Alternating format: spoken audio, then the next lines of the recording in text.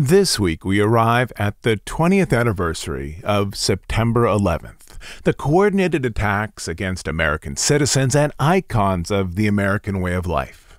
I was in Florida as a grad student in 2001. My wife and I watched on TV as the towers collapsed in New York, pillars of steel and glass toppling down and then replaced by giant plumes of dust. For me, it was a surreal experience, something that was previously unimaginable, the terror of cinema playing out on live TV.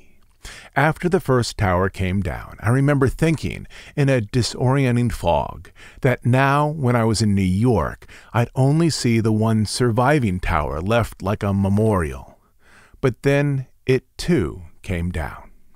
It was a day that changed our nation, also changed how we went about our daily activities. But also in remembering the attacks of 9 11, I see some parallels in terms of how we move through life today during the pandemic. The attacks utterly disrupted American life. Innocent people lost their lives, first responders rushed into danger. And then, over many months, tentatively, cautiously, life eventually went back to some type of normalcy, with modifications at airports, sports games, and theme parks. But there was a period where many Americans were concerned about air travel and gathering in places of mass entertainment, including theme parks. It took about four years for patterns of tourism to return to pre 9 11 levels, for Americans to again feel safe traveling to places of mass gatherings and big cities. But eventually, many aspects of pre 9 11 life did finally return. Today, a remembrance of how the events of September 11th played out inside of the American parks, at the Disney studio, and with Disney projects in New York and how those events changed our way of life.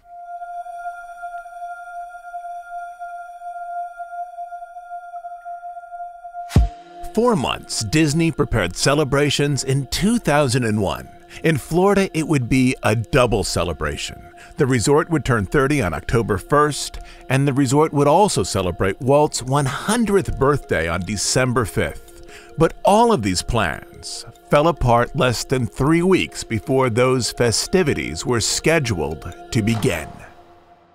The first plane, American Airlines Flight 11, crashed into the North Tower of the World Trade Center on September 11, 2001 at 8:46 a.m. Initially, at least to the public, it was not clear that this was a terrorist attack. There was still a possibility that it was a tragic accident. That impression ended 17 minutes later when another plane, United Flight 175, crashed into the South Tower. Five minutes later, the FAA stopped all takeoffs and flight activity in or near New York City. At 9:31 a.m., the president, who happened to be in Florida, called the events a, quote, apparent terrorist attack. Six minutes later, another plane crashed into the western side of the Pentagon. At this point, it was presumed that the attacks, organized between many planes, might continue to occur at both public and privately owned sites that symbolized an American way of life. At this point, too, there were roughly 1,200 commercial jets still in the air over nearly every American city. It was unknown how many might be hijacked by terrorists, though there was at least one more suspected of being hijacked near the Capitol, a plane that would later come down in Pennsylvania as passengers worked to overtake it from terrorists. At 9:42 a.m., the FAA grounded all flights over American airspace, though it would take two and a half hours to land those 1,200 flights at airports across the United States and, in some cases, Canada and Mexico. At this point in the morning, beyond those jets, there were persistent rumors of other attacks or forthcoming attacks, such as car bombs near national landmarks in Washington, D.C government officials contacted what they felt might be possible targets. Near the top of that list were the Disney parks. At this time in California, the Disney parks hadn't yet opened for the day. But in Florida, all four parks were open, as were the two water parks and the shopping area, then called Downtown Disney. In the morning, some guests inside the park, through cell calls and texts, learned about the attacks. Though in a world before smartphones, most guests had little idea that America had been attacked. Other guests noticed unusual activity including one guest while eating breakfast at Tony's who saw strange activity out on Main Street. Quote, we were sitting in front, where all the windows were, she said, and I noticed many cast members in business attire with headsets walking throughout the park. Executives in Florida weren't immediately sure how they should respond. One cast member recalls being in a break room watching the towers on TV when an announcer broke in with news about the resort. Quote, This just in. The Walt Disney Company has just announced that it will be closing its theme parks worldwide. And literally, less than a minute after the reporter said that, he recalled, managers' beepers started going off like crazy, and they walked out of the break room. About five to ten minutes after that incident, they notified cast members of what we were going to do. Another cast member recalled, quote, while walking through Tomorrowland, I received a radio call from my leader saying the U.S. was being attacked and the park was now closed. We were instructed to execute an evacuation of the park through the front gates, the lowest tier evacuation. At 1125, Disney World then announced that it would close down its parks, water parks, and shopping district. The announcements were intentionally vague, citing unforeseen circumstances. Most queue areas emptied out orderly, with some guests confused as to why the parks were closing. Another cast member would later explain, quote, We were told not to tell the guests what had happened unless they asked us. I remember one guest asking me, and after I told them, they just stood there blank faced and didn't move for a bit. The trains on the Disneyland Railroad simply stopped at the next station and asked all guests to depart and walk toward the park exit. For some guests with young kids, this created an unexpected problem. Strollers were not allowed on the train, and many parents had left them at the station where they boarded, which in some cases was far from where they were exiting. Some attractions finished their ride or show circuit before emptying, but one visitor remembered that, quote, we were on Space Mountain when the ride just stopped, and they emptied it. At this point, more cast members began to learn about the attacks over the internal walkie talkie system. The background music was turned off, stores were closed, the information that spread through the park was loose and at sometimes inaccurate. Quote, When we were walking away, one guest recalled, a Disney staff person walked over and said, New York and Washington had been attacked and we were at war. In the Magic Kingdom, cast members, starting at the back area of the park, held hands to create a human rope that stretched across the length of walkways to slowly guide guests toward Main Street and then to the exit. They were instructed to move slowly and not to touch guests as they progressed. Following behind the rope of cast members were security teams to make sure no one was missed. The backstage route behind Main Street, the one used for special events, was opened to more quickly disperse guests outside the park. Guests were given return tickets as they left the park. Many of them walked to nearby hotels where they stood around TVs in lobby areas and watched continuous news updates. Others called relatives. Buses that carried guests back to resort hotels were eerily quiet, with many people staring at the floor or looking out windows. Over at Universal, all team members were told not to run as they were clearing the parks, not even if there was a security violation, as managers were fearful that one or two people running might incite panic and create a stampede. Once the parks were closed, one cast member recalled that they, quote, were huddling in the utilidors, watching what was happening on the break room televisions. It was so quiet Even the AVAC garbage chutes were silent since there was no trash being dumped. I spent most of my shift and some time afterwards in the Mouseketeria, watching the TVs in stunned silence. According to the Orlando Sentinel, some Disney executives were relocated to a temporary command center to plan how to manage this crisis. They knew that the FAA had closed airspace above the resort due to a fear that the Disney parks might be a target for another attack, as the parks particularly the castle at Magic Kingdom, was a symbol of American entertainment and American values. Theme park cast members and those at Downtown Disney were released from work and went home. Throughout the Orlando community, most cast members scheduled for second or third shift work quickly learned that they didn't need to report to the resort that day. Quote, One of my five roommates woke me up and I saw the planes crashing on Good Morning America over and over one member of the Disney College program explained. They scrolled a message across the bottom of the screen that said that Walt Disney World cast members should not report to work and that all four parks were closed. I picked up our landline phone and could not call out to my family in California because the lines were overrun with calls. All I heard was a busy signal. Even though the parks were closed Disney kept its hotels open, hoping to create a type of normalcy there. Quote, the resorts tried to do everything they could, one guest remembered. They kept the pools open until midnight, and they had characters roaming all around the boardwalk area. The cast members were doing the best they could to help and try to keep a calm atmosphere.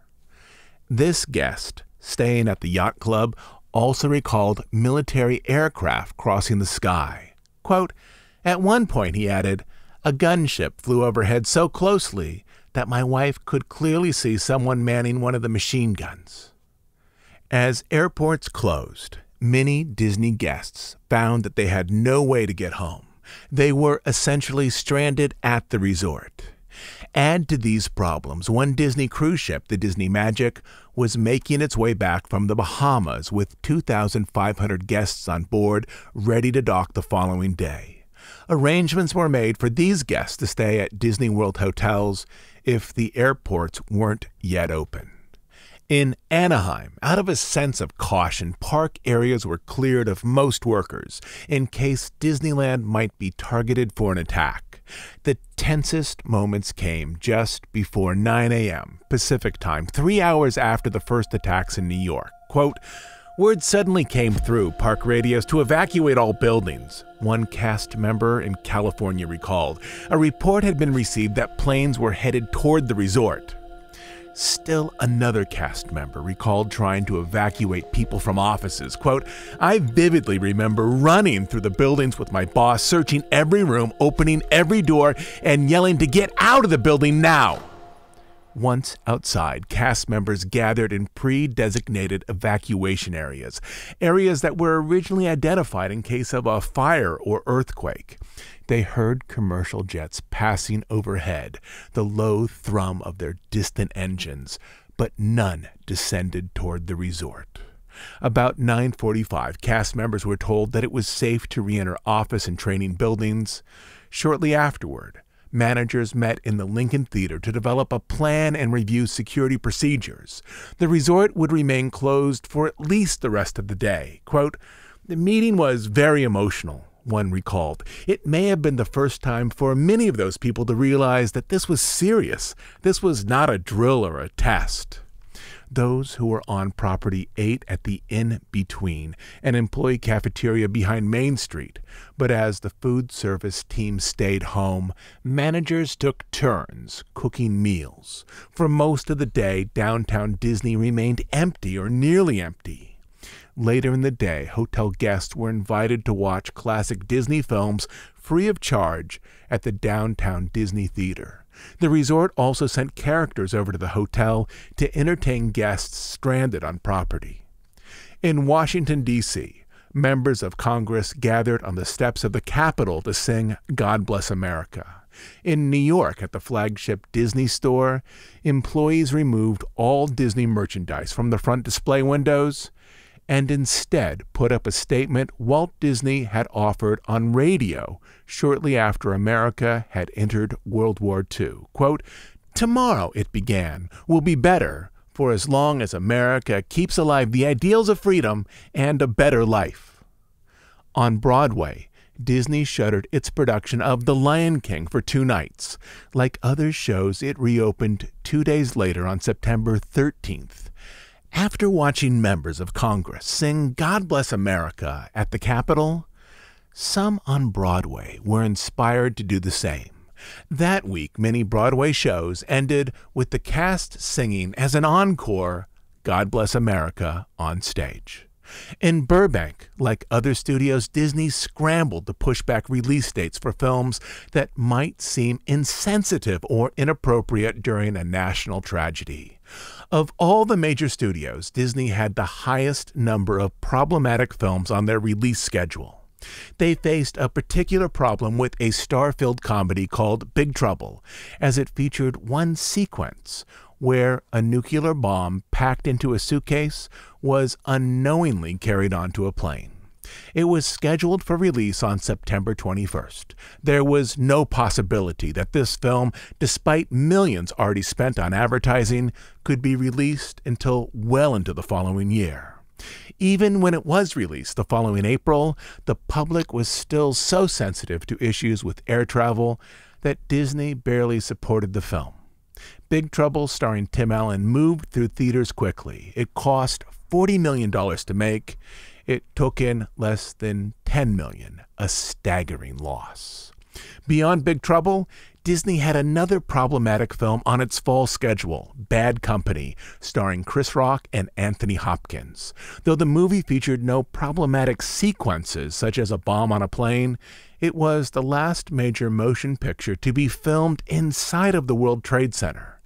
It too would need to be pulled from its December release date and pushed back to the following summer but the most serious problem concerned the animated feature earmarked for a summer 2002 release, a feature with most of its scenes animated and shot.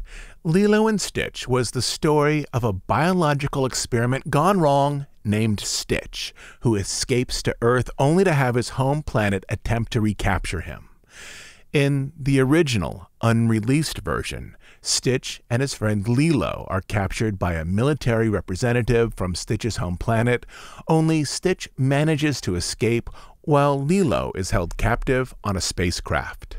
To rescue Lilo, in the original version, Stitch and his friends take over a commercial jet to pursue the spacecraft. They fly it as part of a chase sequence through tall downtown buildings of Honolulu, turning it sideways and running its landing wheels against skyscraper windows, causing glass to rain down on streets below. More than once, they nearly crash into occupied buildings. It was the central set piece of the film's climax. After September 11th, the entire sequence would need to be redone, even though most of it was already animated, digitally painted, and shot. The story beats would remain the same. Only in the revised version, Stitch and his friends would steal a spacecraft, not a commercial jet, one whose control area, even in the final print, looks remarkably similar to a 747. The aerial chase wouldn't be staged in a city with tall buildings, rather in the lush mountains of Hawaii, far from any place that looked like New York. In the days following the attack, theme park and studio employees were expected to return to work, but Disney employees in New York, in marketing, publishing, and in their new internet division were given time to manage their grief, anger, and feelings of anxiety. In the days that followed, they were told that they could come into work or work from home as matched their comfort levels and their feelings of security. Quote, in the meantime, one company message read, Please know that your safety and that of your loved ones is our top priority. On the night of September 11th, to cast members, CEO Michael Eisner released a statement. It began by saying, quote, Everybody acted with stoic determination to maintain Disney operations in efficient and caring ways. and it ended with Eisner's overall understanding of the company's mission. Quote, Let me say that our company around the world will continue to operate in the sometimes violent world in which we live, offering products that reach to the higher and more positive side of the human equation. But already it was clear it would take months, if not years, for the nation to recover from this tragedy. On the morning after the attacks, September 12th, a spokesperson for the Orlando International Airport told passengers holding tickets that they didn't know when air travel would resume, but it wouldn't be any time before noon airports would remain closed for the entire day. And when flights did resume with new security protocols on September 13th, the FAA prioritized those flights that had been stranded mid route to fly to their original destinations. It would take days to complete these flights. Regular air travel, even for those returning from vacation, wouldn't begin for days. The parks at Disney World reopened on Wednesday, September 12th, to extremely low crowds and to heightened levels of security. At this time, Disney owned no metal detectors and had no security screening areas. Instead, guests were handed recently printed notices that said, quote, for your safety, we have heightened our security efforts at the Walt Disney World Resort. All packages, parcels, backpacks, etc., will be inspected prior to entering our parks for Disney, which viewed the parks as an escape from reality. The security tables represented a change. For decades, Disney had presented their parks as a place where guests left behind the troubles of the real world and entered realms of fantasy. The inclusion of security tables just outside the entrance to the parks was a reminder that even at Disney, the troubles of the real world couldn't always be ignored. One guest at the resort for an extended vacation returned to the Magic Kingdom that day to find folding tables being used as new security checkpoint stations. Quote, It was at these tables, he said, where it finally hit you, especially since they weren't there the day before. One cast member recalled, quote, the next day, September 12th, the parks were literally ghost towns. Only the hotel guests were really in the park. I remember working the monorail ticket booth in the morning, and I didn't sell a ticket, just processed travel vouchers. It was very surreal because only two days before it was packed. Another guest recalled, quote, The parks were open, but definitely not crowded. We went back to Animal Kingdom and all day long there were fighter jets in the sky over the park. Disney World is in fairly close proximity to Cape Canaveral, so it was this airspace being patrolled. Some guests found solace in attractions that spoke to patriotism, such as the Hall of Presidents and the American Adventure. One cast member remembers watching the Spirit of America Fife and Drum Corps perform in World Showcase, a small musical group presenting colonial music, which was often overlooked by guests. Quote, on this day, she explained, their performance jolted to the quiet like a knife. People didn't continue to walk about. Guests stopped. They gathered around them. Around the resort, many tourists considered canceling their return flights and instead tried to book rental cars and drive home. But overnight, rental car prices had risen sharply. Some car companies were asking over $1,000 for cars picked up in Florida and dropped off in another state. But at least one company reached out to those stranded. A representative of National Rent a Car in Orlando said, quote, because of the current tragedy, we're waiving the out of state drop off fee today. Basically, everybody is going home in a car. Cars sold out quickly. Other tourists bought Greyhound tickets to make their way home. Some stranded in the area were part of children's groups, such as Sunshine Dreams, which offered trips for ill, physically challenged, and abused children. For these visitors staying at the Radisson Towers, the theme parks worked together to send over characters for the kids.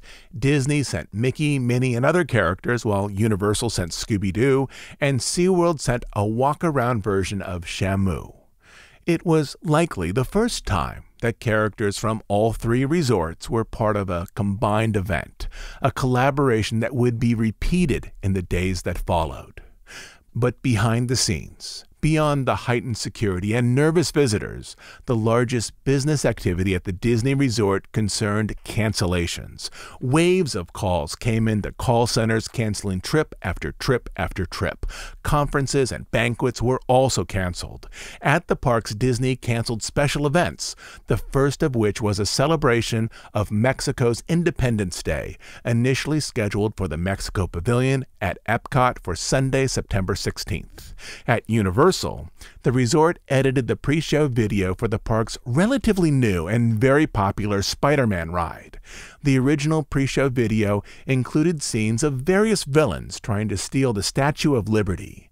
The animated video was edited to remove an attack staged in lower Manhattan, the same area of New York where the towers once stood.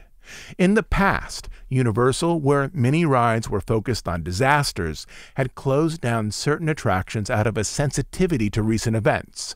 In Orlando, the park had delayed the opening of the Twister attraction after tornadoes moved through Florida. In California, Universal Hollywood shut down the earthquake segment of its studio tram tour after the 1994 Northridge earthquake. But this was the first time Universal altered an attraction due to a terrorist attack. At Disney, Pleasure Island canceled its nightly New Year's Eve party. The celebration, which featured festive music and confetti, seemed out of place in the days after September 11th. The more somber Illuminations, with its thematic focus on world unity, continued to play at Epcot, as did the evening fireworks at Magic Kingdom. The morning after the attacks, skippers at the Jungle Cruise needed to reconfigure their script to avoid the crashed plane along the jungle banks. In recent years, the Jungle had adopted the back half of a Lockheed 12A aircraft. The front half was used in the Casablanca scene on the Great Movie Ride. This jungle prop presumably the remains of a downed plane, suddenly became an issue for the ride. Quote, the next morning, one cast member explained, I returned to work at this Adventureland attraction. I discovered that we had a major problem. Our fun loving, wisecracking spiel usually included the down plane just before the hippos. The usual line goes, It's plain to see how I landed this job. I took a crash course. Obviously, any airplane crash jokes were now completely inappropriate. Some skippers tried to distract their crews in this area of the attraction with other jokes. Others, such as myself, had a brief moment of silence. In the days that followed 9 11, Disney World cut back shifts as the parks were empty. It moved closing time at the Magic Kingdom from 9 p.m. up to 7 p.m. Quote, all college program hours were cut to the minimum, one college program member said. It was a tough time. Before that, we could pick up overtime galore. After, nothing. Many of the college program kids from the East Coast lost family members or their parents got scared and they had to leave early from the program. Beyond the college program, regular cast members saw their hours cut as well. But even during times of crisis, Disney was unable to severely limit labor costs, as so much of the guest experience requires cast members. It takes roughly the same number of cast members to operate Pirates of the Caribbean when the park is 75% full as it does when the park is 15% full. Friday, September 14th, brought Tropical Storm Gabriella through central Florida. Though the four Disney parks and Universal stayed open, SeaWorld closed at 1 p.m. to prepare for rain, as the park was near empty anyway. The few guests who were there received complimentary tickets for another visit. At Gatorland, a regional attraction not far from Disney World, managers made the decision to open that Friday. But as park president Mark McHugh explained, quote, we hadn't had a single person by noon, so we made the decision to go ahead and shut down. That weekend, some hotels in Orlando were near empty. Most guests in the rooms were stranded there from vacations that started before September 11th. According to the Central Florida Hotel and Lodging Association, many hotels were below 50% occupancy. Some reported occupancy rates below 25%. These resorts typically averaged 79% during this period of the year. 55%, explained a representative for the industry, was the break even point. Quote, it will take some properties several months to recover from this, explained the vice president of Rosen Hotels. The loss of revenue is staggering. Convention groups are canceling blocks of hundreds of rooms at a time. By Saturday, the Orlando airport was halfway back to normal, helping people on vacations return home. That day, it boarded 440 flights rather than the usual 900, largely due to security delays for the new screening process. It would take many days until the airport could handle 90% of their usual flight load. Many passengers at the airport were filled with anxiety as they wondered if air travel was safe. Quote, you find yourself studying people's faces, one traveler explained, watching them a little more and wondering who could be the next terrorist. To minimize anxiety, all three resorts sent costume characters over to Orlando International, mainly to ease the fear of children who might have seen the attacks replayed on TV. Disney sent Mickey and Goofy, while Universal sent Popeye, and SeaWorld again Shamu. They comforted travelers as they made their way through a hastily assembled security line. Elsewhere in the airport, some lounge areas that typically played CNN nonstop were converted to family friendly alcoves that played Stuart Little and The Land Before Time. And from there, Disney World was changed. One guest visiting the following week explained, quote, there was a sadness in the air you could feel. I have to admit, I did feel guilty for being there. Due to so few guests in the park, we were able to see and ride everything quickly. We ended up going back to the hotel long before the park closed that day. On September 27th, speaking from the O'Hare Airport, President Bush encouraged people to return to their previous ways of life. Quote, Fly and enjoy America's great destination spots, he said. Get down to Disney World in Florida, take your families, and enjoy life the way we want it to be enjoyed. But Americans simply weren't ready for vacations, nor would they be for many months. Disney attempted to cut costs, even so far as removing hot dog carts from Disneyland, as with such low attendance, the carts no longer made money. At Disney World, the plans for the 30th anniversary were scaled back as few people were coming to theme parks that season. Beyond this, a large celebration seemed in poor taste. Paul Pressler, who was then the president of the theme park division at Disney, explained that after 9 11, visitation patterns changed. Many people were essentially unwilling to fly, which led to a cut in airline service. In December, two months after the attacks, 66% of Disney World visitors arrived by car, which identified guests most likely to book a Disney World vacation as living in the eastern portion of the continental U.S. There was a particularly sharp drop off with international visitors. Pressler also explained that, quote, a greater proportion of Disney World's visitors are locals. In 2002, Disney discounted hotels, discounted annual passes, and offered other perks to encourage higher levels of travel. But tourism wouldn't rebound for a long time. In 2000, before the attacks, 15.4 million visitors came to the Magic Kingdom at Disney World. In 2001, it was down to 14.7 million, with a substantial fall off in the final three months of the year. In 2002, 14 million. In 2003, again 14 million. Disney World wouldn't surpass the attendance levels they saw in the year 2000 until 2005. The recovery would take four years. It would take years for most Americans to feel finally that they were on the other side of this tragedy, in a new America more focused on security and safety, an America that was both similar to and different from the one that existed on the morning of 9 11. As I finish off this episode on the 20th anniversary of September 11th, I'm reminded of a number of concerns those who lost their lives in the attack, the bravery of the first responders who risked and in some cases lost their lives in an attempt to save others. Anniversaries like this one are not only about remembering the events, but also honoring sacrifice and giving life again through an act of memory to those who have passed. But I'm also reminded of something else how much the after effects of 9 11 reflect the current situation with the pandemic, from reduced crowds at theme parks to a scaled back celebration for a major resort anniversary, from bumped release dates for major films to the shuttering of Broadway. This year, The Lion King will reopen on Broadway on September 14th, exactly 20 years and one day after the same production reopened following the attacks of 9 11.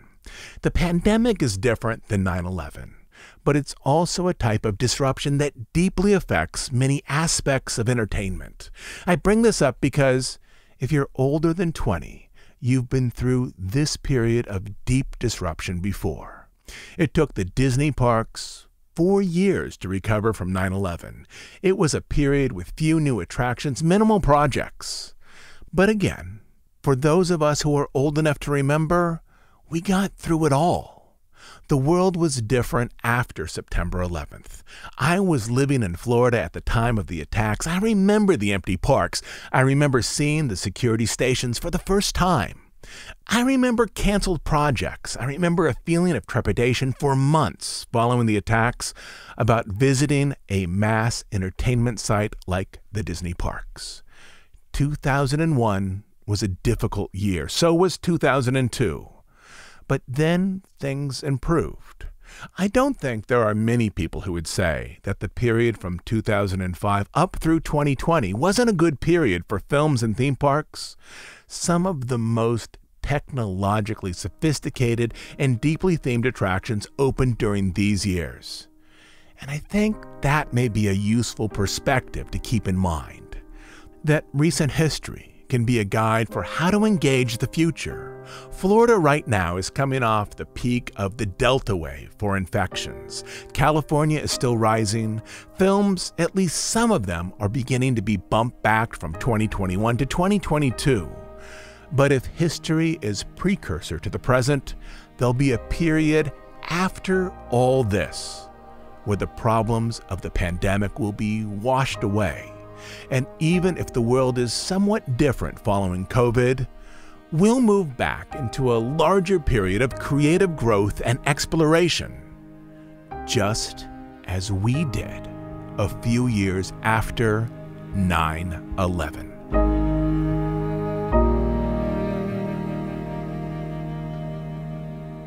I'll be back next Sunday with a new episode. If you enjoy this podcast, if you find it a meaningful part of your week, you can support us by becoming a monthly subscriber over on Bandcamp. On Bandcamp, you'll find dozens of extra episodes. Just yesterday, we added a Halloween update for our audio guide to Disneyland. But the best reason to subscribe is to make sure that this podcast continues to exist. You can subscribe at dhipodcast.bandcamp.com. I'll also leave a link in the show notes. Until next time, this is Todd James Pierce.